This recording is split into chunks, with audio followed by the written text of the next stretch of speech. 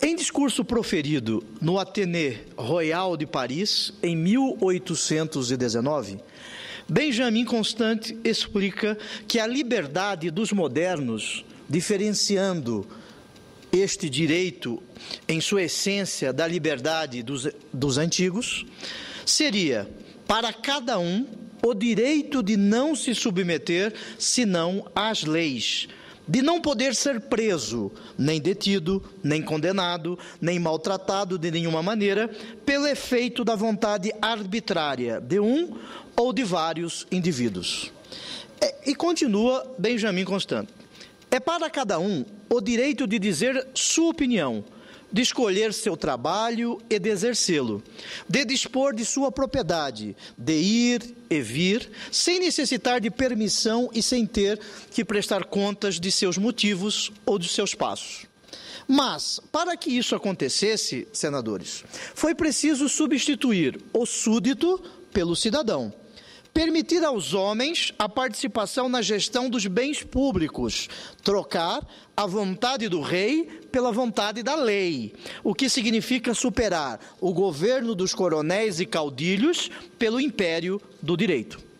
E assim se forma a chamada República. A Constituição e as leis se colocam acima de todos. Repito, a Constituição e as leis se colocam acima de todos. O bem comum deve ficar imune aos caprichos particulares, às vontades arbitrárias e aos interesses menores de um ou outro partido.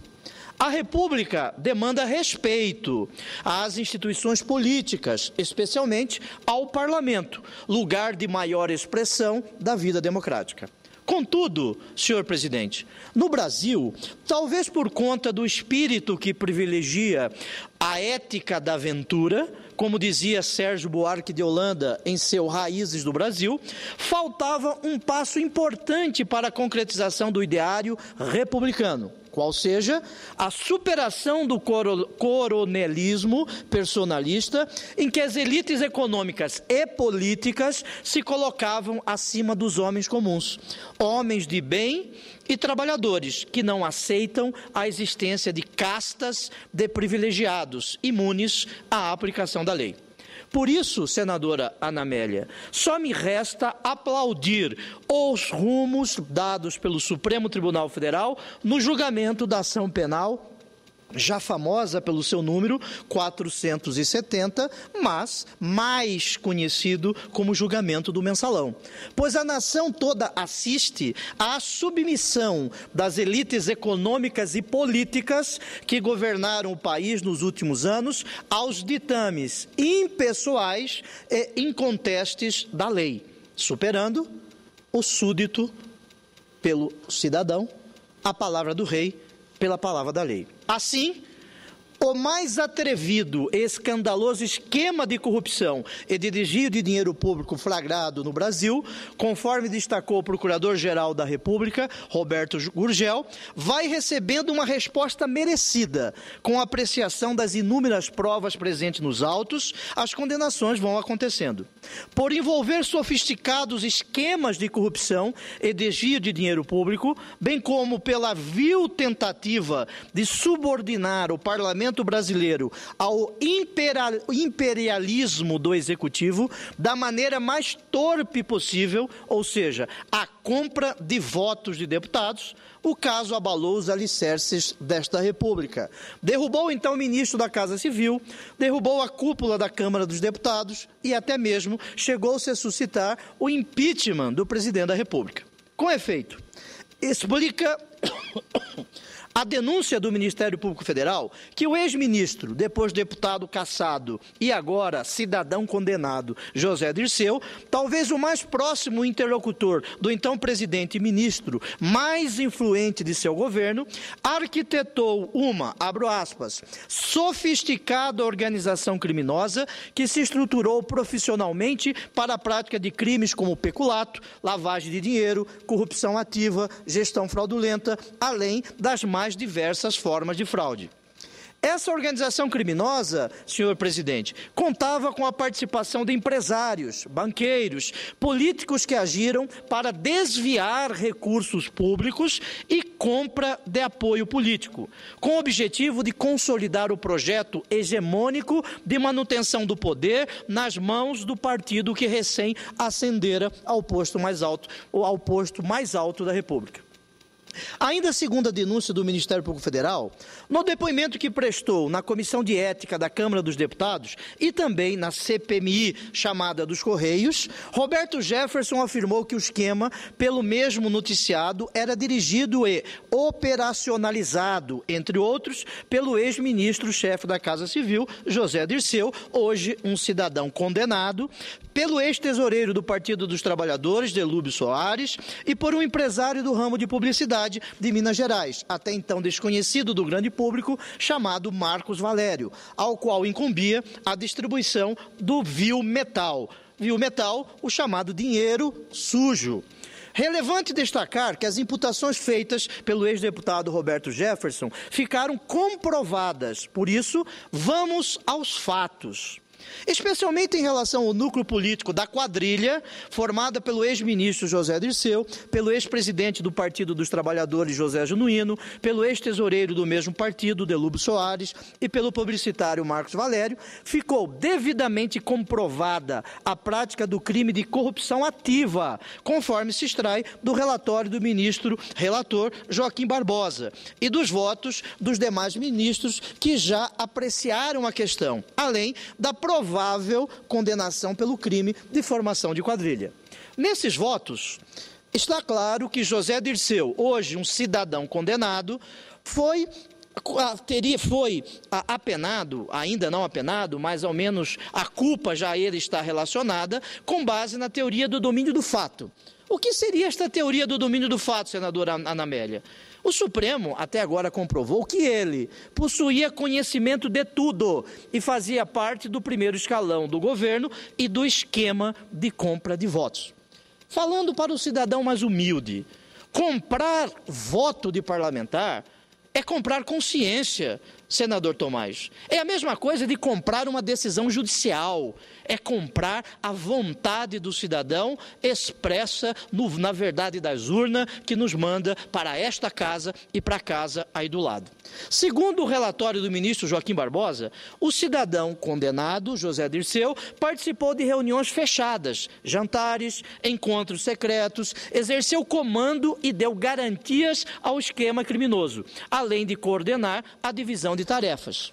Ainda segundo o ministro relator, o conjunto probatório sobre os pagamentos efetuados por Delúbio Soares e Marcos Valério a parlamentares, portanto, para comprar consciências, colocam então o ministro da Casa Civil na posição central da organização e da prática como mandante das promessas de pagamento das vantagens indevidas a parlamentares para apoiar o governo.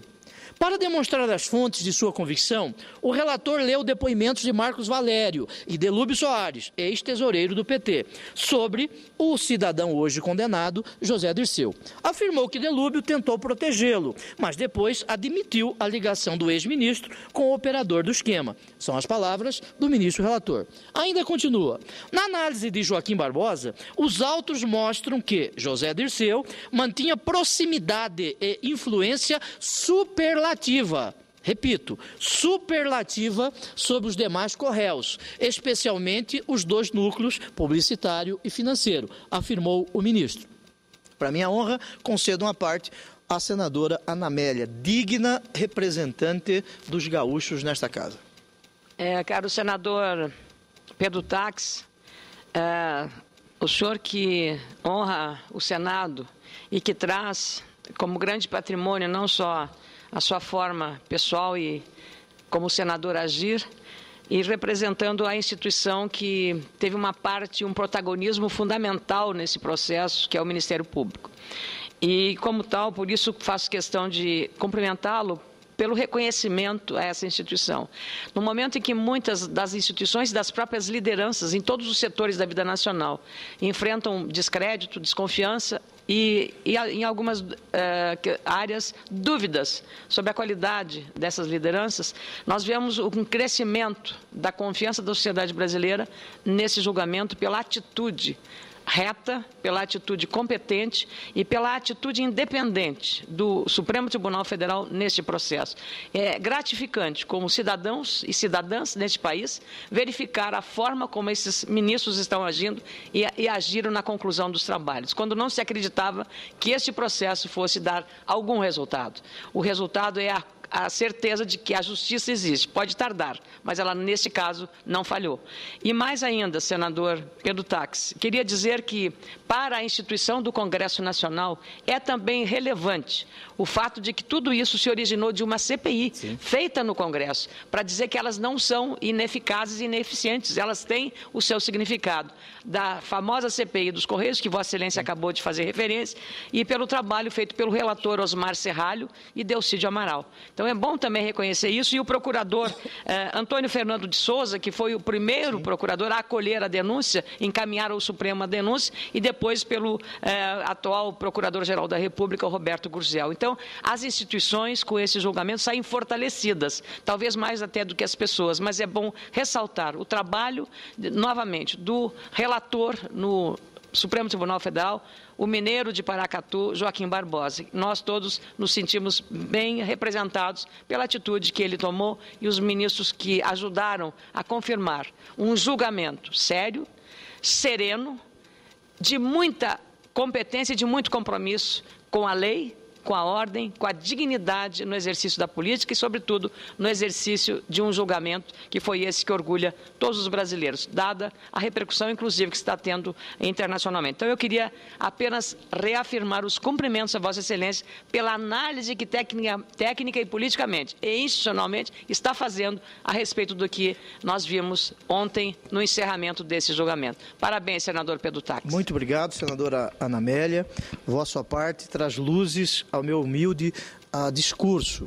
Eu gostaria de, antes de continuar o meu discurso, abrir dois pontos na fala de Vossa Excelência. O primeiro deles é a importância de uma comissão parlamentar de inquérito.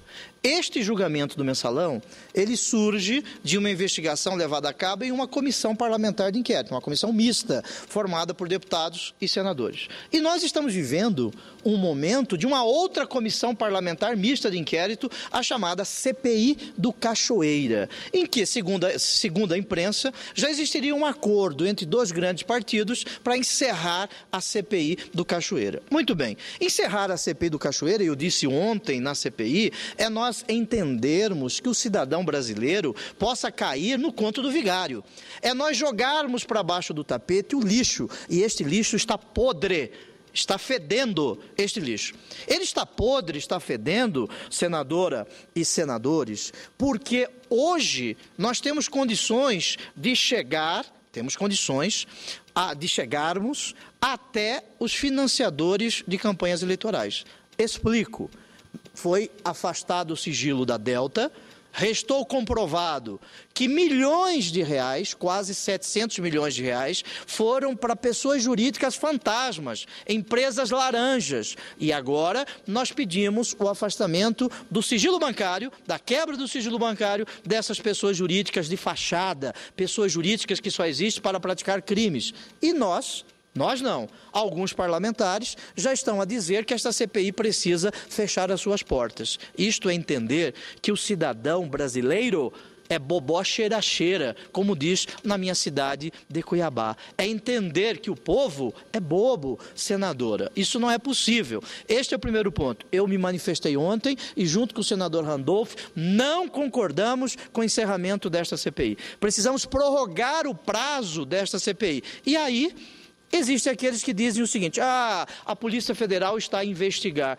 A Polícia Federal pode estar a investigar, mas nós não podemos não podemos abrir mão de nossas prerrogativas constitucionais. Encerrar esta CPI, ou seja, não prorrogar esta CPI, é enganar o cidadão brasileiro. Este é o primeiro ponto. O segundo ponto que eu gostaria de ressaltar é a importância do ex-procurador-geral da República, doutor Antônio Fernando. A importância, a sua serenidade no oferecimento da peça inicial, da denúncia do caso do mensalão. E agora, a condução pelo doutor Gurgel, o que mostra a independência do Ministério Público. Independência. Se nós formos ler a Constituição como um todo, nós veremos na Constituição a independência em dois momentos. No artigo 2 e lá no artigo 127, parágrafo 1. Independência quer dizer ausência de subordinação. Ele deve a sua consciência apenas à Constituição da República. Ressaltar a importância e também ressaltar a importância do ministro relator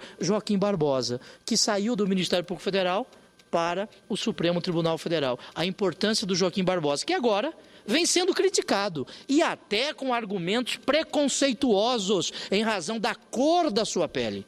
Da cor da sua pele. E aqui nos faz lembrar um grande ser humano, Martin Luther King.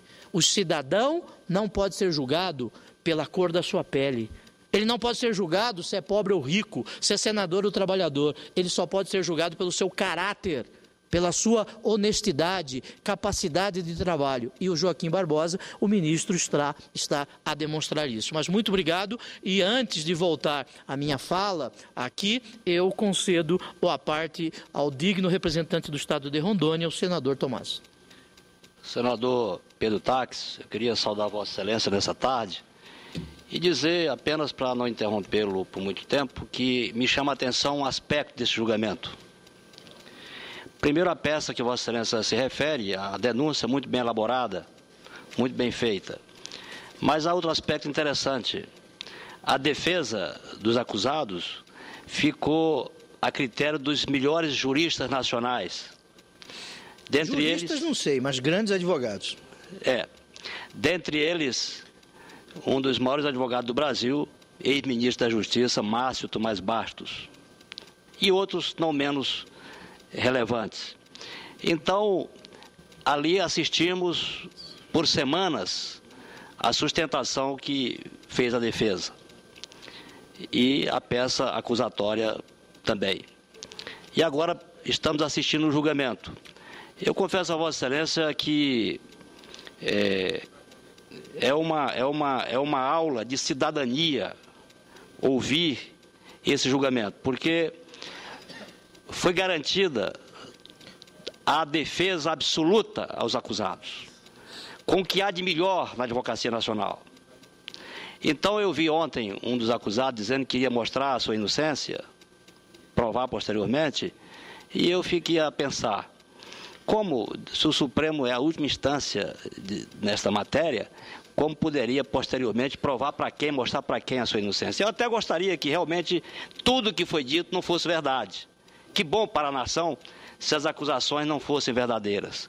Mas, infelizmente, apesar da grande defesa feita dos acusados, resta agora o julgamento com as condenações é, todas é, tipificadas devidamente e com a prova muito robusta, deixando claro que os crimes efetivamente foram cometidos. Então, eu queria saudar Vossa Excelência e dizer que é, Vossa Excelência traz um tema atual nessa tarde e refere-se a um momento histórico da nação e ressaltando, por fim, a transparência do, do judiciário hoje. Antigamente, esses processos eram julgados até em sessões secretas. Hoje, a nação inteira tem a oportunidade de ver, de participar e de criticar ou de elogiar. Portanto, eu queria cumprimentar a Vossa Excelência e agradeço a parte. Muito obrigado, senador Tomás, pela parte que enriqueceu a nossa fala. Eu quero dizer a Vossa Excelência que o advogado é imprescindível para a administração da justiça e para a existência do próprio Estado. Isso está previsto no artigo 133 da Constituição da República. Agora, você julgar uma causa em razão do advogado ser medalhão, isso não é possível. E o Supremo Tribunal Federal assim decidiu. Aliás, a ministra Carmen Lúcia deu um pito nos advogados ontem, uma carraspana nos advogados ontem, porque entenderam que Caixa 2 é algo que poderia ser tolerável, como eu falarei daqui a pouco. Advogado é imprescindível. E essa questão do recurso além do Supremo Tribunal Federal, o Supremo Tribunal Federal é o encerramento dos debates. Falar em recorrer à Organização dos Estados Americanos é direito de espernear, mas o direito de espernear não se encontra na Constituição. Advogados que dizem isso são advogados que, no mínimo, data vênia, para usar o juridiquês, não leram a Constituição da República, como disse o ministro Joaquim Barbosa, porque a Constituição da República afirma que o nosso Estado é soberano. E soberania aqui é um poder político supremo e independente. Não existe aqui a possibilidade de recurso. No mais, é aquela, aquele discurso de quase 99% dos presos, dos presidiários das penitenciárias nacionais, que são inocentes e que houve perseguição. É um direito até humano reclamar, mas a Constituição encerra o julgamento no Supremo Tribunal Federal. Para minha honra, senhor presidente, concedo uma parte ao senador Álvaro Dias. Senador Pedro Tax, Vossa Excelência, com conhecimento jurídico, aborda questões essenciais decorrentes desse julgamento histórico pelo Supremo Tribunal Federal. E esse julgamento certamente supera as expectativas. havia um pessimismo enorme em relação à resposta que o Supremo poderia dar à sociedade brasileira. Da minha parte, sempre houve esperança e confiança e várias vezes tive a oportunidade de manifestar em respeito, sobretudo, ao Supremo Tribunal Federal do nosso país. Decorre agora desse julgamento uma enorme responsabilidade para a classe política. O Supremo condena o mensalão e provavelmente coloca na cadeia alguns dos seus artífices principais, mas o modelo está vigente, o sistema está vivo. Ele tem que ser destruído, tem que ser sepultado. Nós não podemos admitir mais essa tese que só se governa instalando um balcão de negócios. Porque governabilidade não tem que rimar com promiscuidade. E nós temos a esperança que um dia um presidente assuma o poder nesse país e demonstre que é possível governar sem instalar o balcão de negócios. Em relação à CPMI Cachoeira, para ser sucinto e não tomar o seu tempo, eu gostaria de dizer que compartilho da sua posição. Nós não podemos admitir sequer discutir o encerramento desta comissão, que ela não cumpriu ainda o seu dever. Nós temos que aprofundar as investigações em relação ao desvio do dinheiro público, Sim. especialmente através da empresa Delta. Estamos apenas no início desse trabalho, então temos que ter tempo. Essa CPI não pode terminar em 2012 ela tem que ter prosseguimento em 2013. É muito importante porque é descomunal o desvio do dinheiro público. Nós estamos juntos e vamos insistir para que essa CPI seja prorrogada. Muito obrigado, senador Álvaro Dias. Eu quero concordar com Vossa Excelência em razão desta palavra desgastada chamada governabilidade, que, ao meu juízo, hoje no Brasil, é um eufemismo para bandalheira e para submissão do legislativo ao executivo é transformar o Legislativo Nacional num puxadinho, como eu já disse várias vezes, de um, de um presidencialismo monárquico, de um presidencialismo imperial. A independência do Legislativo e a não hipertrofia, superforça do Executivo é importante para a democracia.